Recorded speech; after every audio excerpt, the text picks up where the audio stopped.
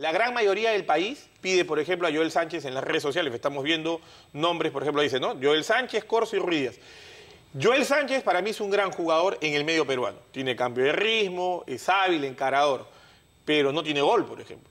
No tiene mucha asistencia de gol tampoco. No es que se haya quedado sea, no fuera es que se haya quedado fuera un crack. Claro, no es que se haya quedado fuera Neymar. Entre Joel y Hurtado, puede ser que Hurtado te haga un partidazo y, y nadie habla de Joel. Tanta diferencia no me parece Lo que que haya. sí, quizás, eh, la gente quiere otras caras en determinados lugares de la cancha porque también es bueno eh, que el que está detrás tenga esa hambre de, ingresar y de romperla. Ahora, Jean-Pierre Riner tuvo alguna oportunidad en la sub-20, ojo, ah, del Chino Rivera, ya ha sido probado. No es que no se le haya visto, ha estado en Perú, ha entrenado en Perú, por algún motivo no, no, no quedó finalmente en la lista, pero estuvo en prácticas con la selección sub-20.